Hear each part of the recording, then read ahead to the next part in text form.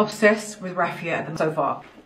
First off, Akris leather trim, like there's just linear lines going across. I love that it's like it's got a leather bottom, trapezoid shape to it. This, is, just wear it on your shoulder, kind of like that. No logos on it, no hardware, or just floppy straw hat which bucket hat to me is just adorable. It looks almost like handmade, like that. And that's the vibe, but I just think it's so cute. J. Crew bag, which it is like I call my feed bag. Love the curved underside of it, like this. Sometimes I'll just take the knot off and wear it like super long. Put it away to nothing and fling it in your suitcase. This is my Dior book tote, kind of neutral, but was still kind of like a summery feel to it. Sitting on top of my suitcase when I'm going through the airport. It's my carry-on. I can slip it on underneath the seat that's in front of me, or just put it up above my head. Hat is with me everywhere. It's a men's hat. God, that looks so good on your back